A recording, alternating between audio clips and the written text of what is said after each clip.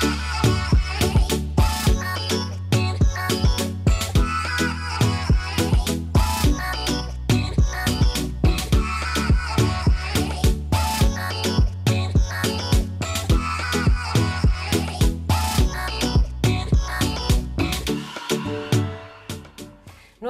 bloque en la tarde de Unirrío. Estamos en nuestro living porque en el día de hoy vamos a hablar de experiencias y avances en materia de agroecología. Es por eso que hemos invitado a un especialista en esta área. Estamos hablando del profesor Claudio Sarmiento, docente de la Facultad de Agronomía y Veterinaria. ¿Cómo le va? Muy bien. Muchas gracias por haber venido. Bien. Gracias. Bueno, en primer lugar lo invitamos también al profesor y a todos ustedes que están del otro lado de la pantalla a ver un disparador, un video que nos muestra una experiencia única en el país. Se está desarrollando en Gualeguaychú, Entre Ríos. Allí se ha conformado un centro de producción agroecológica que pertenece a la municipalidad de esta ciudad y nosotros queremos tomar el ejemplo y hablar un poquito sobre este tema, así que lo presentamos a través de Ambiente y Medio. La ciudad de Gualeguaychú se ha convertido en una de las ciudades más ambientalistas de la Argentina. Su asamblea ha marcado un antes y un después en el medio ambiente, ya que en su accionar hace un año dispuso una ordenanza en la que se prohíbe el uso y el almacenamiento del glifosato. La síntesis icónica de un montón de luchas de la comunidad de Gualeguaychú en materia ambiental y en materia de salud también. Esto es el CEPAMES, el Centro de, Alimentos de, Producción Municipal. El producto de los alimentos que se, se cosechan acá tienen como destinatarios a los, eh, los, centros de integración comunitaria, los jardines municipales y los asilos de ancianos de Gualeguaychú. Esta es una experiencia eh, municipal única en el país y que se ha hecho eco en distintos lugares, en distintos municipios y ya están tomando, intentando tomar nuestras experiencias para replicarlas en otros lugares.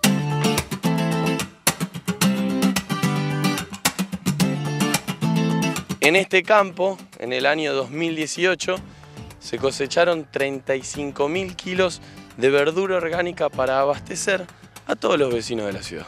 La producción agroecológica hortícola está creciendo en Gualeguaychú, hay productores y se concentran en las instalaciones de la terminal de ómnibus eh, vieja.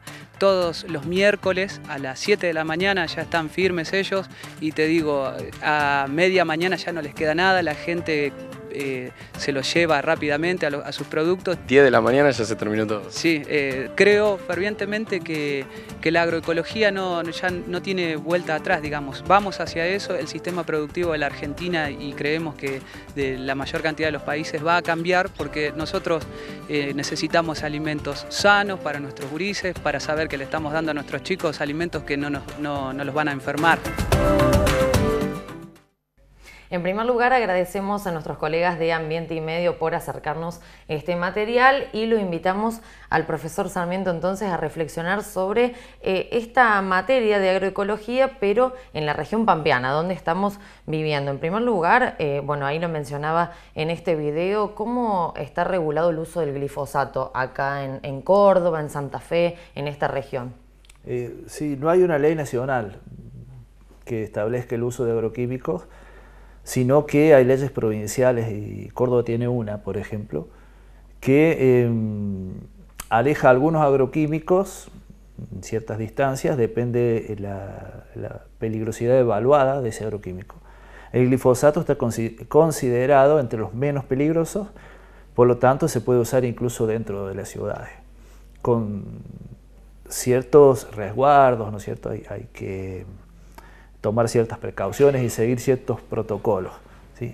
El glifosato y otros eh, agroquímicos eh, se pueden usar, que es lo que ha, causado ¿no? la, problemática, sobre todo en los espacios periurbanos.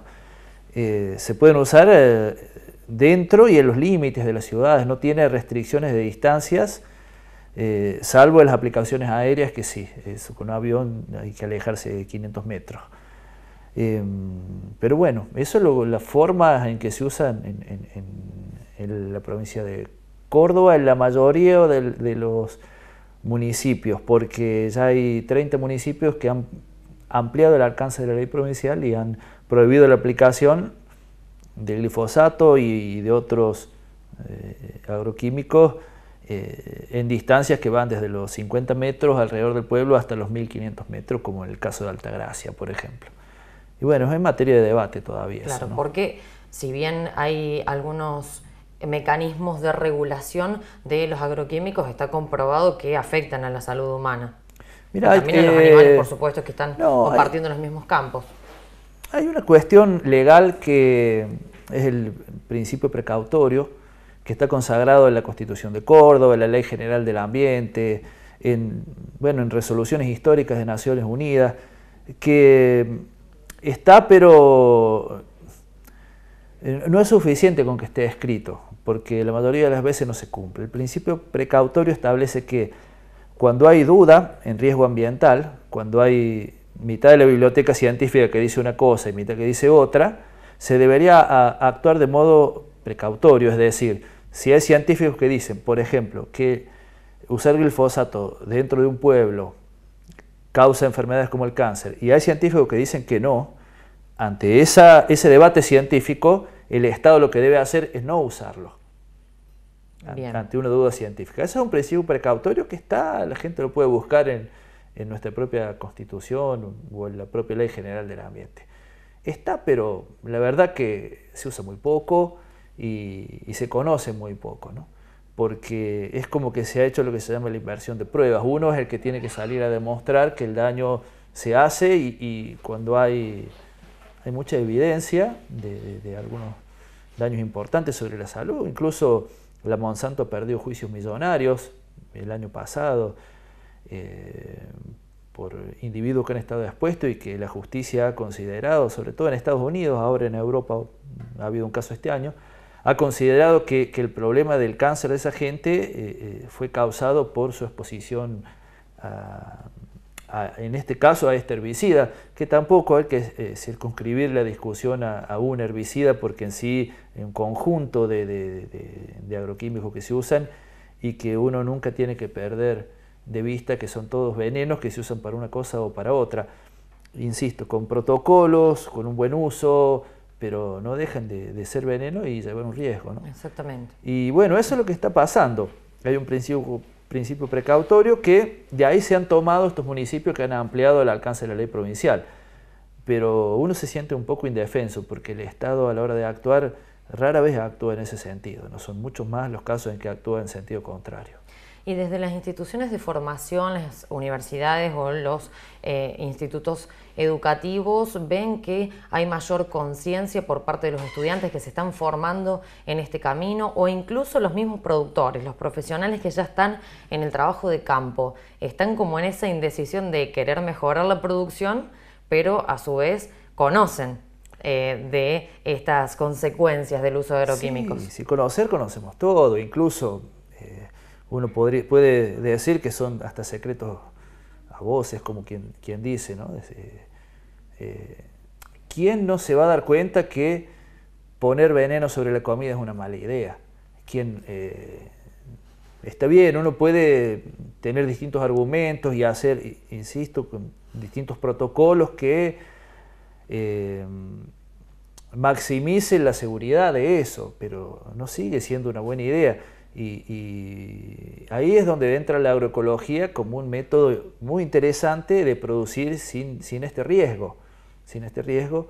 Y bueno, bienvenido el caso que vimos de Gualeguaychú y de muchos otros casos, de muchos otros casos que están produciendo sin agroquímicos en diferentes escalas em, y con niveles productivos muy, muy interesantes. ¿Son viables estos centros de producción agroecológica? En la implementación de los municipios. Eh, sí, sí, la producción agroecológica tiene muchas virtudes. Eh, una es la que ya nombramos, es que no lleva el riesgo de, usar venenos. Y la otra es que es muy barata, muy barata. todos estos insumos, fertilizantes químicos y herbicidas, insecticidas, cotizan en dólares. No hace falta que explique eh, la velocidad que tiene el dólar para, para, trepar en estos tiempos, ¿no? son, insumos cada vez más caros. Y por otro lado también son tecnologías que generan mucho empleo. Nosotros, esta mañana estaba trabajando unos datos para un congreso y Eh, yo en mi tesis doctoral mm, medí 16 campos agroecológicos en toda la provincia de Córdoba y le medí 23 cosas a cada uno y los comparé con promedios zonales. Y esta mañana trabajé el, caso del empleo, por ejemplo, que el promedio de empleo en, en, los campos agroecológicos me dio un puesto de trabajo cada 25 hectáreas. Y la verdad que había campos de todo, desde más extensivos hasta hortícolas. Pero el promedio de los departamentos, el promedio de empleo rural, eh, de los departamentos de lo que se encontraba en esos campos, daba 316 hectáreas, un puesto de trabajo cada 316 hectáreas. O sea que genera mucho trabajo.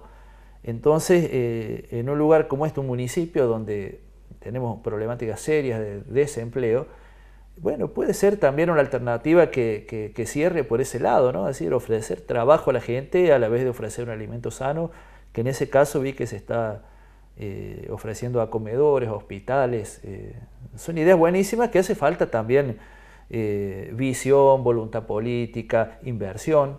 Totalmente. ¿Y qué le parece la cantidad que veíamos en el video? Ellos están produciendo 35 mil kilos de verduras agroecológicas, que uno lo ve como una cifra grande, pero usted fuera de cámara me decía que no parece tanto, no, es tanto como parece. Yo tengo un patio de, patio común, tengo una huerta al fondo del patio de 10, por 10 y ya hace 5 años, eh, viste, los investigadores tenemos el, llevamos el trabajo a casa también, así que eh, me puse a medir cuánto producía, cuánto ahorraba y cuánto tiempo me llevaba. Y ya llevo una investigación que este ya es el sexto año. Pero yo de ese patio común de casa, del fondo de casa, estoy sacando 500 kilos de verdura por año. Eh, uno se pone a pensar con algunos patios más, eh, de verdad que la comida es mucha. en estos cinco años saqué 2.500 kilos de, verdura que se comió todo en casa. Y, eso se puede llevar a una gran escala de poder implementarlo en un municipio como el de Gualeguaychú. Por ejemplo, un campo hortícola de Río Cuarto con dos hectáreas produce más que eso.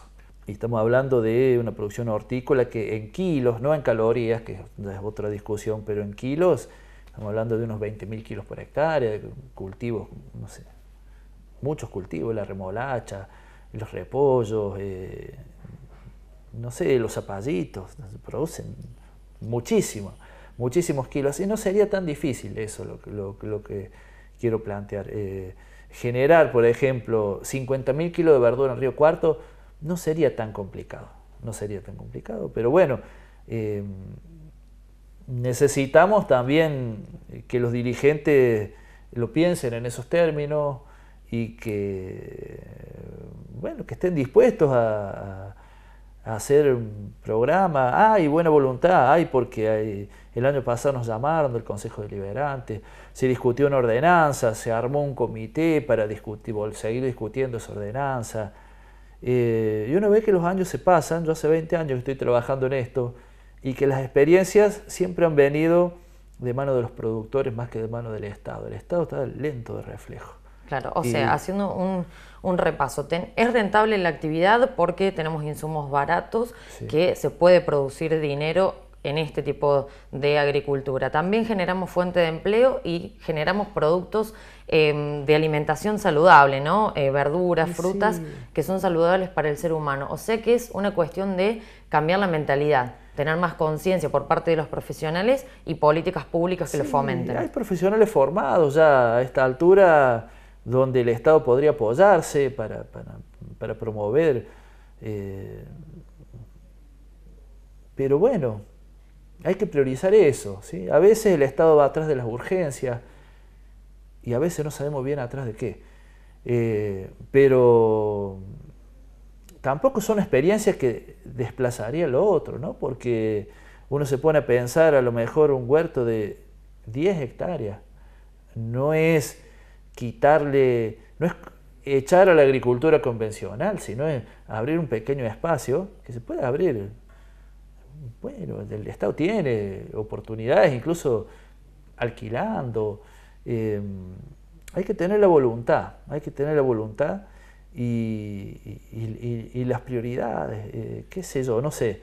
Son preguntas también muy interesantes para hacerle a, los dirigentes, ¿viste? Es decir, eh, ojalá que estos ejemplos lleguen a la dirigencia y, se tomen un poco más en serio esto, porque em, tampoco es difícil y como decíamos, eh, son muchos años de usar, se estima que se usan 400 millones de litros de veneno por, por año en Argentina, y digo se estima porque ya hace cinco años que esos datos no se publican más, porque desde que la gente los conoció y se, se alarmó, no se publican más.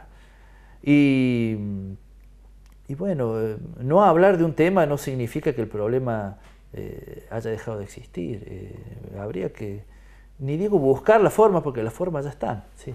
probar, dar oportunidades. Muy bien. Bueno, profesor, le agradecemos su tiempo. Muchas gracias por haber venido. Bueno, muchas gracias a ustedes. De esta manera entonces hablamos de la agroecología, la implementación de su viabilidad y que es posible que cada uno de los, de los municipios apueste por esta forma de producción. Vamos a hacer una pausa ahora y enseguida volvemos con más noticias.